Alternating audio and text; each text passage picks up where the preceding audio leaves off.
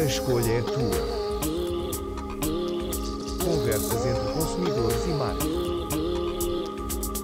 Um podcast de escolha do consumidor. Olá, bom dia. Olá André, Tudo bem? Bem-vindo, então. Muito Foi- obrigado por esta oportunidade de poder vir aqui conhecer a escolha do consumidor de uma forma mais pessoal. É sempre um prazer. A escolha é do consumidor e, portanto, os consumidores são sempre bem-vindos, obviamente. Muito obrigado. Eu já tinha visto a vossa marca, vá, o vosso selo nas- na, na- na televisão, em algumas lojas, mas sempre houve aqui algumas questões que, que eu gostava de, de ver Claro. respondidas enquanto consumidor. Também nunca fiz muito esforço em explorar, portanto aproveito que estou aqui a falar consigo. Ahm, Está no sítio certo. para tirar algumas dúvidas. E a primeira é mesmo como é que as marcas eh, são selecionadas como escolha de consumidor? Pronto, há um processo eh, que tem dois sentidos. Hum. Ora, as marcas se candidatam, ao fim e ao cabo, para serem avaliadas e, ao fazer isso, abrem uma categoria. Imagina, um banco chega junto de nós e diz: Eu quero ser avaliado. E, portanto, um banco, ao dizer isso, automaticamente todos os outros bancos são- vão ser avaliados. Ah, a outra forma, somos nós que olhamos para o mercado e dizemos: olha, faz sentido, por exemplo, agora com a pandemia, tivemos a questão das máscaras. E, portanto, no ano passado decidimos: faz sentido ir avaliar as máscaras que há no mercado para perceber qual é que tem melhor avaliação na escolha do consumidor. E é um processo que é feito através de duas fases, basicamente. Uh, Primeiro, ouvimos o consumidor, uh, pegando no exemplo das máscaras. O que é que é importante para os consumidores quando compram uma máscara? Portanto, fomos ouvir, através de técnicas de estudos de mercado, neste caso chamado Focus Group, fomos ouvir os consumidores. Conseguimos encontrar o que é que é importante para os consumidores quando compram uma máscara. Dentro do que é importante, ainda conseguimos perceber o que é que é mais importante e menos importante. E depois, o que é que fizemos? Mandamos os consumidores para a rua, foram comprar máscaras. Online, fisicamente, utilizá-las, ah, perceber, consoante aquilo que era importante para eles, ah, o que é que fazia, que nota é que tinham, portanto, ah, se é a marca A, se é a marca B, se é a marca C. E depois de avaliarmos isto tudo, é que chegamos à escolha do consumidor. Quem é a escolha do consumidor? É o que tem a melhor nota em termos de satisfação e de intenção de Escolhido, escolhido sempre pelo consumidor. Sempre pelo consumidor. Portanto, a escolha só poderia ser do consumidor com eh, basicamente os seguintes princípios. Um, que fossem os atributos do consumidor, os critérios do consumidor, porque não vale a pena nós andarmos aqui 10 e 20 anos a falar sempre da mesma coisa se ela não for específica do consumidor. Até porque o consumidor evolui e, portanto, e com ele evoluem também os graus de necessidade e o que é mais importante ou é menos importante. Ah, e depois tem que ser o consumidor a avaliar não uma marca ou duas marcas, como às vezes é normal neste tipo de, de- de processos, mas todas as marcas daquela categoria. E só depois de avaliar todas é que tem noção de qual é que é a melhor e por isso dá-lhe uma melhor pontuação. Portanto, há sempre um estudo de mercado vá, que é feito para se selecionar as marcas, escolhas do consumidor. Sempre, nós estamos a falar de uma média de cerca de 700 a 900 marcas por ano, que nós avaliamos, em cento e muitas eh, categorias, e estamos a falar de testes, eh, cerca de mais de 200, 220 mil testes, ou seja, são as vezes que temos que testar para chegar, sim, a dividir por as 900 marcas ou as 700 marcas, obviamente, não é? Mas, portanto, estamos a falar de uma representatividade muito grande. E esse estudo é feito anualmente.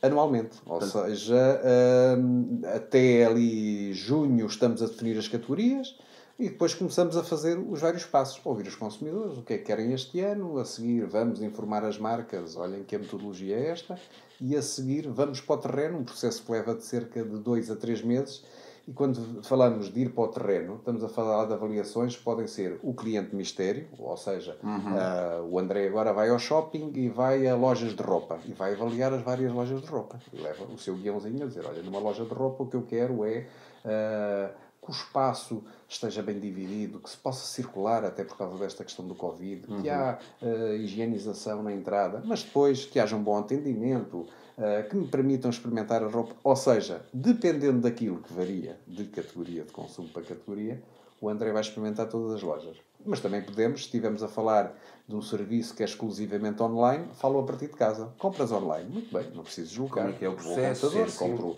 ah, na loja A, na loja B, na loja C, ah, e portanto sei. Se estamos a falar, por exemplo, de comida, Uh, o mesmo processo, vai ao supermercado, compra o produto e, e, os vários concorrentes em causa, não é? Estamos a falar de fiambres, temos cinco ou seis marcas, não é? Uhum. Levo para casa e a seguir, tranquilamente, na pacatez do meu lar, eu vou experimentar e dar a nota. Olha, é sabor, é a forma como a embalagem está feita, tem muita umidade, é muito calórico, é pouco calórico. Portanto, sempre o consumidor do princípio até ao fim.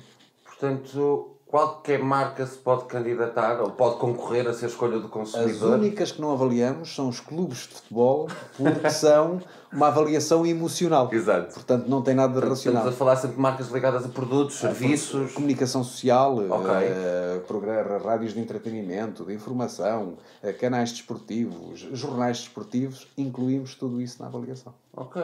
E é sempre um desafio para a marca porque o facto de ser eleita num ano não significa que não, é a escolha do consumidor não, no ano não, seguinte. Não temos estudos anuais. Exatamente.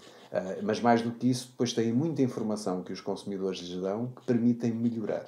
E temos certo. muitos casos ao longo do ano. E o que, é que, o que é que as marcas, na realidade, ok, eu sou uma marca, este ano sou escolha do consumidor, o que é que eu ganho com isso?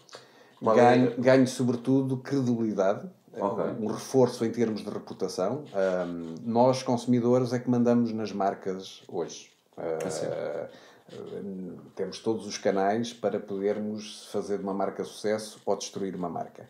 Uh, e, portanto, ao sermos os donos das marcas, ao fim e ao cabo, uh, é importante para um, uma marca ser reconhecida. Uh, e, portanto, uma marca que não está próxima do consumidor e que não tem muitas vezes um selo escolha do consumidor é uma marca que não está. Pode até estar a prestar um bom serviço, mas não é a melhor. E todas as marcas querem ser as melhores. E, portanto, Uh, isto traz uh, não só vendas, mas sobretudo uma credibilidade bastante grande às próprias marcas e aproxima ao consumidor. E ao consumidor ajuda porque facilita logo no processo de decisão de compra a saber quais são as melhores. Portanto, a grande pergunta neste momento é minha para si. Na próxima vez que for às compras e entre duas marcas vir uma que tem número um na escolha do consumidor, por que é que vai optar, André? Pela número 1 um na escolha do consumidor, sem dúvida.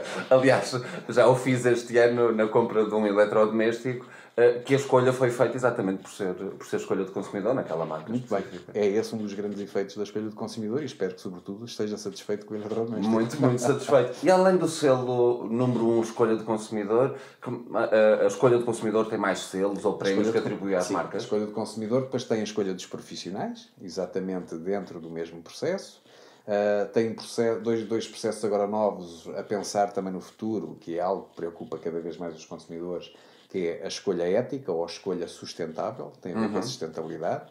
Uh, e esse é um processo mais complexo. E temos agora, muito recentemente, por causa do crescimento da, das compras online, a loja online recomendada, uh, que é um processo em que os clientes que já fizeram a compra online vão avaliar em uma série de aspectos as lojas online. Não tem só a ver com a satisfação, tem a ver desde Uh, enfim, a facilidade de pagamento, a forma como as coisas chegam a casa, o tracking, a embalagem, se uh, contribui para o ambiente ou não.